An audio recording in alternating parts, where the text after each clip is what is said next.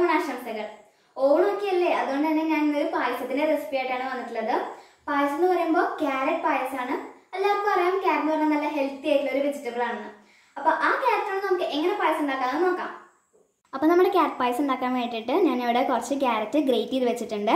ഇനി നമുക്ക് ഫസ്റ്റ് തന്നെ ഇത് ഒന്ന് വേവിച്ചെടുക്കണം. അപ്പോൾ നമുക്ക് ഒന്ന് ഒരു പാനിലേക്ക് ഇട്ട് നന്നായിട്ടൊന്ന് വേവിച്ചെടുക്കാം. അപ്പോൾ ഞാനിവിടെ ഒരു പാൻ അടുപ്പത്ത് വെച്ചിട്ടുണ്ട്. നമുക്ക് ക്യാരറ്റ് ഇട്ട് കൊടുക്കാം.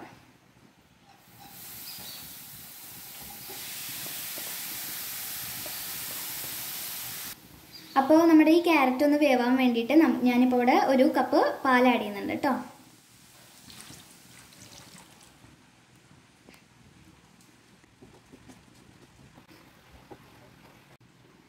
അപ്പോൾ നമ്മുടെ ക്യാരറ്റ് നന്നായി ഒന്ന് വെന്ത് കിട്ടണം. അതിനുവേണ്ടി നമുക്കൊന്ന് അടച്ചു വെച്ച് വേവിച്ചെടുക്കാം.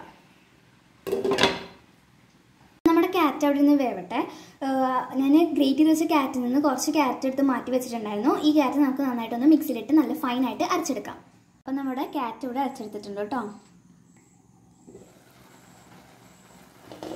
അപ്പം നമ്മുടെ ക്യാരറ്റ് ഇവിടെ നന്നായി വെന്ത് കിട്ടിയിട്ടുണ്ട്. ഇനി നമുക്ക് നമ്മൾ അരച്ച് വെച്ചിട്ടുള്ള ക്യാരറ്റ് നമുക്ക് ഇതിലേക്ക് ആഡ് ചെയ്ത് കൊടുക്കാം. പിന്നെ ഞാൻ ഈ ക്യാരറ്റ് അരയ്ക്കുമ്പോൾ കുറച്ച് പാലും കൂടി ആഡ് ചെയ്തിട്ടാണ് കേട്ടോ അരച്ചത്.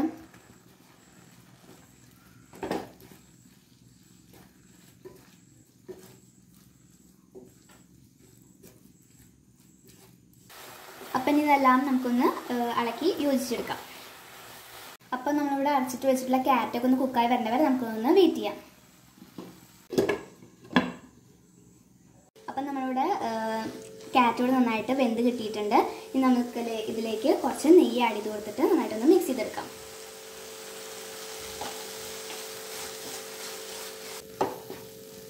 നെയ്യിട്ട് കൊടുത്തിട്ട് നന്നായി വഴറ്റിയെടുത്തതിന് ശേഷം നമുക്ക് ആവശ്യത്തിനുള്ള പഞ്ചസാര ആഡ് ചെയ്ത് കൊടുക്കാം.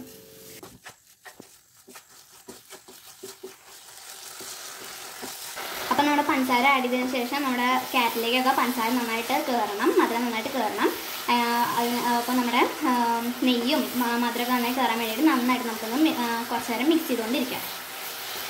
നമ്മുടെ മധുരമൊക്കെ ഒന്ന് കോമ്പൻസേറ്റ് ചെയ്യാൻ വേണ്ടിയിട്ട് ഞാനിപ്പോൾ ഇവിടെ കുറച്ച് പിഞ്ച് ഉപ്പ് ആഡ് ചെയ്ത് കൊടുക്കുന്നുണ്ട് കേട്ടോ. നന്നായിട്ടൊന്ന് മിക്സ് ചെയ്തെടുക്കാം. നമ്മുടെ ക്യാറ്റിന് നന്നായി നെയ്യും മധുരമൊക്കെ പിടിച്ചിട്ടുണ്ട്. നല്ല നെയ്യിന്റെ സ്മെല്ലൊക്കെ വരുന്നുണ്ട് കേട്ടോ.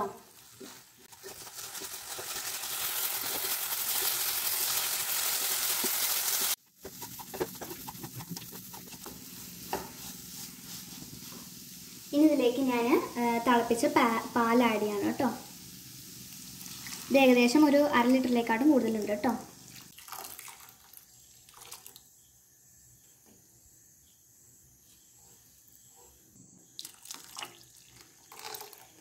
ഇപ്പോൾ ഈ ഒരു കപ്പ് കൊണ്ട് ഏകദേശം ഞാൻ മൂന്ന് കപ്പ് പാൽ ആഡ് ചെയ്തിട്ടുണ്ട് കേട്ടോ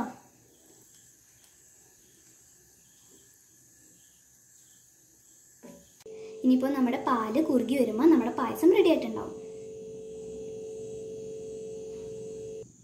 അങ്ങനെ നമ്മുടെ പാൽ നന്നായി കുറുകി പായസം റെഡി ആയിട്ട് കിട്ടിയിട്ടുണ്ട്. ഇനി ഇതിലേക്ക് ഞാൻ നെയ്യിൽ വറുത്തെടുത്തിട്ടുള്ള അണ്ടിപ്പരിപ്പ് ആഡ് ചെയ്യണം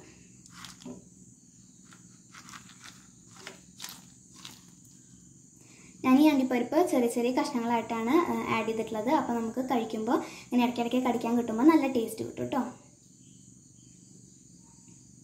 ഇനി നമ്മുടെ പായസ പായസത്തിന് നല്ല ഫ്ലേവർ കിട്ടാൻ വേണ്ടിയിട്ട് ഏലക്കായും പഞ്ചസാരയും കൂടി പൊടിച്ചു വെച്ചിട്ടുള്ള പൊടി ഞാൻ ആഡ് ചെയ്യുന്നുണ്ട്.